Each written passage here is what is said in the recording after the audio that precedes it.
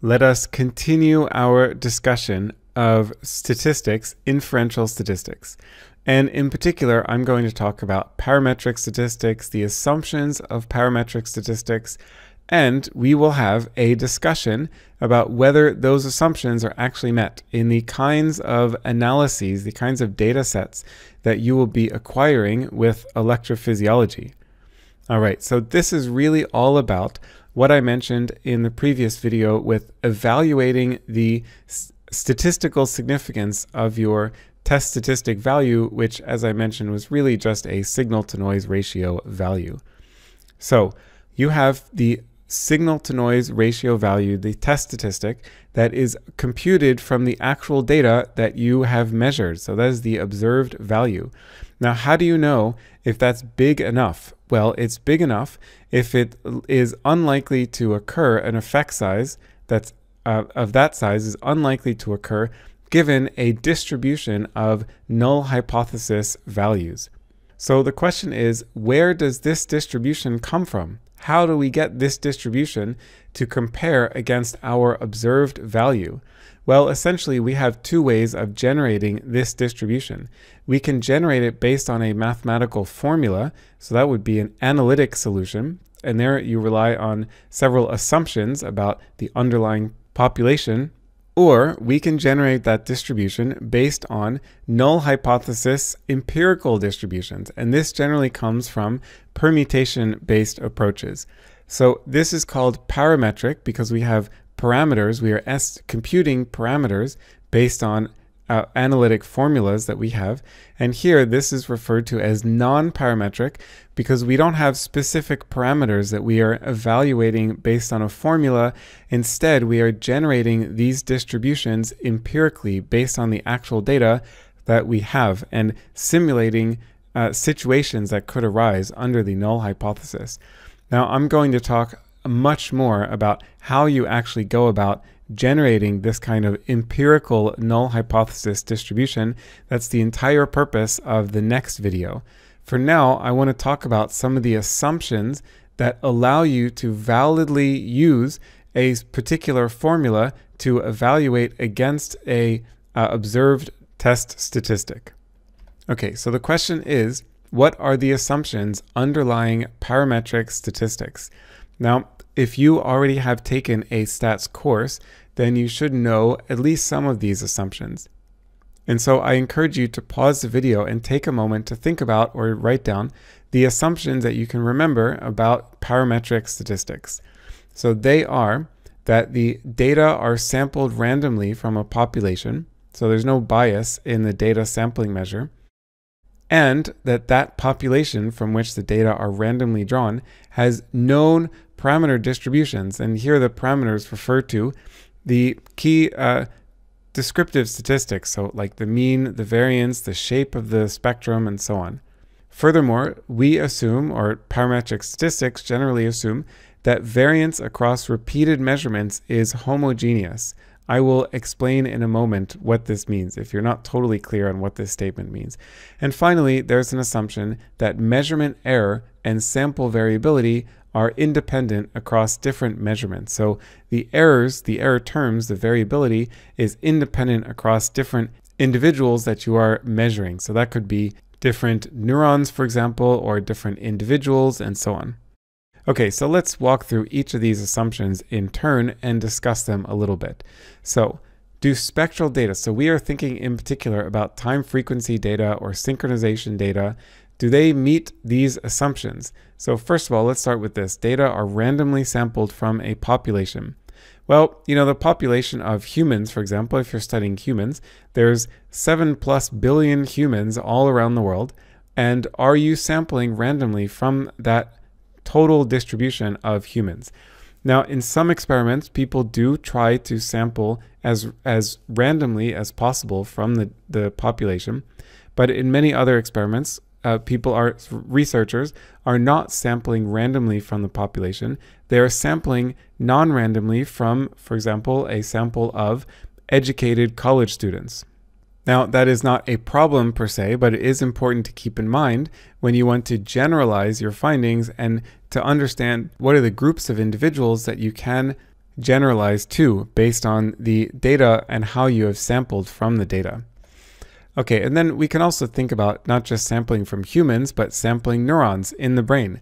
So is the way that we sample neurons random from the population? Now this depends a little bit on the method that you are using, but for electrophysiology, the answer is largely no. We are not sampling randomly from neurons in the brain, and that's because a lot of neurons in the brain are small. They are a bit shy, a bit quiet, meaning they have a, a relatively low firing rate, and so they are difficult to identify electrophysiologically.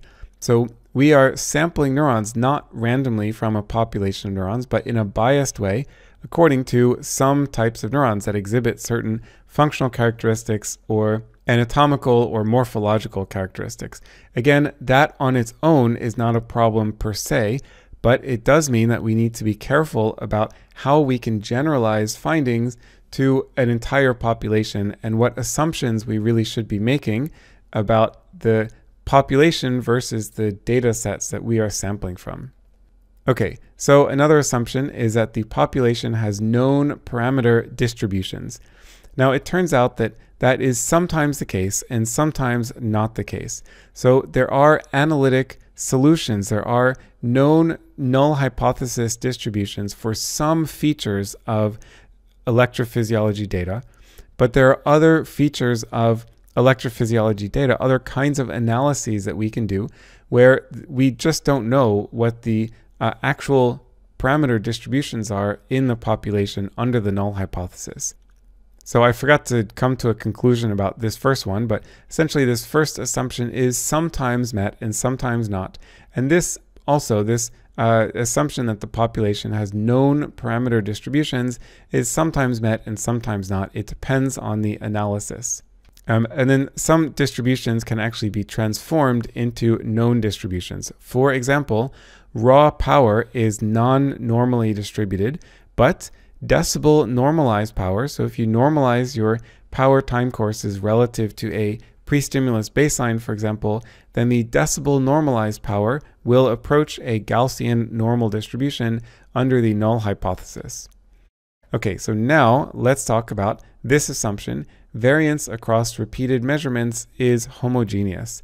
What does that mean? That means that if you take repeated measurements of some system, like the brain, for example, that the variance across different measurements should be the same or homogeneous.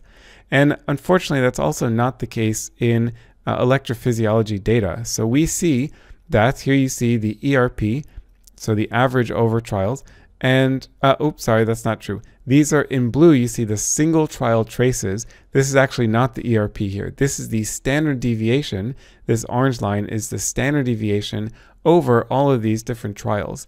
Now, the assumption is that the, an assumption of parametric statistics is that the variability across repeated measurements over time, in this case, is homogeneous. So that should mean that the standard deviation is constant over time, but it's not. You see that some time points have a higher variance and some time points have less variance. So the variance across repeated measurements is not necessarily homogeneous. Sometimes it can be, and sometimes it's not going to be. So this is showing variance over time in the time domain. And what you see here is a similar kind of analysis, but this is in the time frequency domain. So here I am plotting the average power. This is from the V1 dataset. You've seen this kind of plot several times before. And what I'm plotting here is the standard deviation of power over different trials at each time frequency point. So you see that when there's large power, there's also a lot of variability over trials. And there's also you know, other regions where there is a large amount of variability over uh, trials without necessarily having too much power at the average level. Again, this violates the assumption of homogeneity of variance across repeated measurements. Okay, and then finally we can discuss this assumption that the measurement error and sampling variability are independent. So what this means is that if you measure two different individuals from the population, they should be independent of each other. Their measurement error, their sampling variability should be independent. But when we do large scale measurements of the brain, we find that there is a lot of dependency. There's a lot of autocorrelation, spatial autocorrelation, and temporal autocorrelation, and spectral autocorrelation in the data sets that we are acquiring. This is just an example showing structure, showing correlational structure in multi-channel data sets. And that structure is consistent over space. So there's a correlation over space and there's also correlation over time in multiple dimensions. So the sampling variability across different measurements is definitely not independent or you know often is not independent particularly when doing large scale recordings. Okay, so overall the conclusions of the last several slides are do spectral data meet assumptions that are required by parametric statistics? And the conclusion, the answer is sometimes yes and sometimes no. It depends a lot on the experiment, on how you're measuring the data, on the kind of data you're measuring, the kind of analyses that you are applying. So things get pretty hairy pretty quickly when it comes to parametric statistics and the assumptions underlying parametric statistics.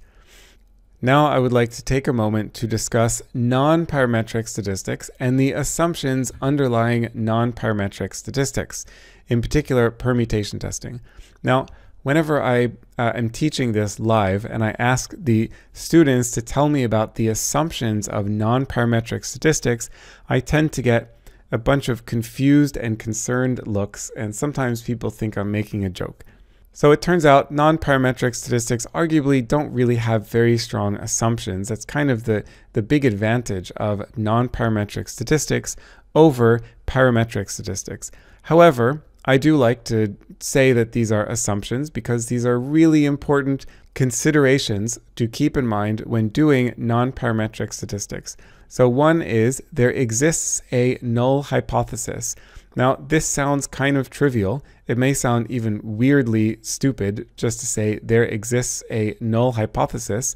However, you will see, particularly for complex data sets or more complex designs, it's not always so easy to define exactly what the null hypothesis is. Now, sometimes, like in your you know undergraduate statistics course, the null hypothesis is really easy you're you know there, there's some uh, there's a medication study and so the null hypothesis is that the medication has no effect.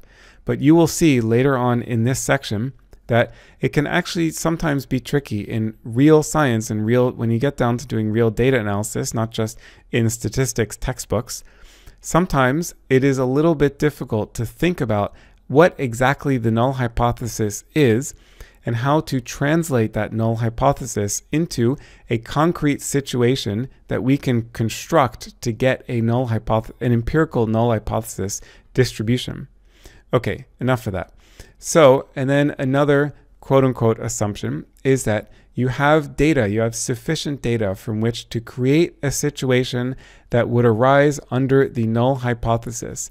And this is kind of, you know, this statement is just a way to make sure that you are thinking carefully about the amount of data that you need to make claims, to make statistical claims based on your data sets. So for example, if you only have, you know, let's say you only collect data from three trials, that's a bit of an extreme example, but if you have data from three trials you're not going to be able to create a situation that could arise under the null hypothesis. You're not going to be able to do permutation testing with three trials. So it is important to think about these two considerations, even if they are not actual formal assumptions underlying non-parametric and in particular permutation-based testing. All right, so with that discussion out of the way, I'm sure you are just burning with curiosity of how to create a null hypothesis distribution like this based on permutation testing. That is covered in the next video, so keep watching.